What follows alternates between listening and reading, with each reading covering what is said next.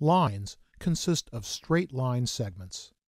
Before you draw your first line, look at the command line and notice that it currently prompts you to type a command. Anytime you see this, it means that there is no command active. Instead, the program is waiting for you to start a command. To create a line, move the cursor over the Line tool in the Draw panel on the Home ribbon, but do not click yet. Notice that when you move the cursor over a button, a tooltip appears that tells you basic information about that tool. The tooltip then expands to display more information.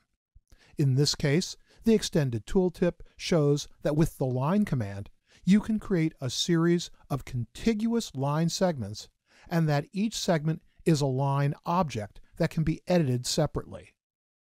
Now click the Line tool. When you start the line command, on the command line, you can see that the line command is now active. You can see the name of the command. You can also see that the program is prompting you to specify first point.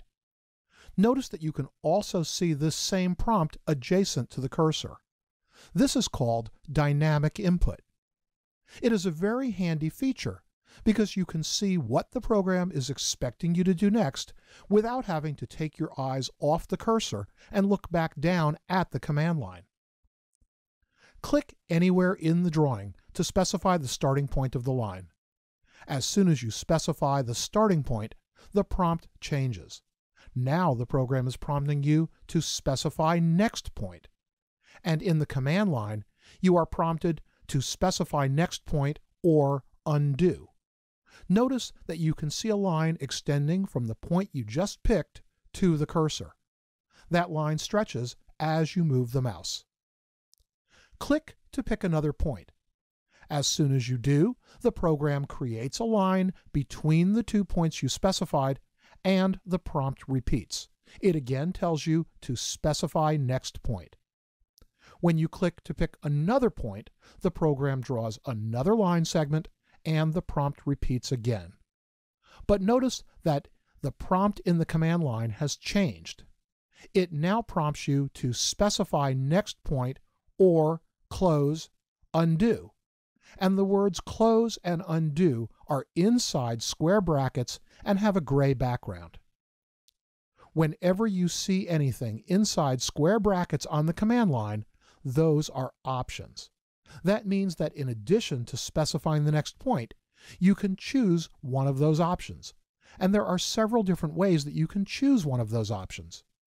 You can type the capital letter corresponding to the option you want to select, or you can simply click on the option in the command line.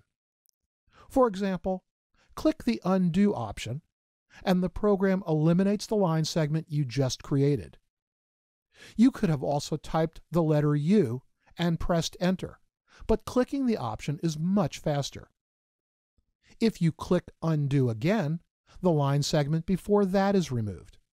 You can actually keep undoing the previous line segment until you have removed the very first line segment that you created, in which case the command goes back to its very first prompt, specify first point.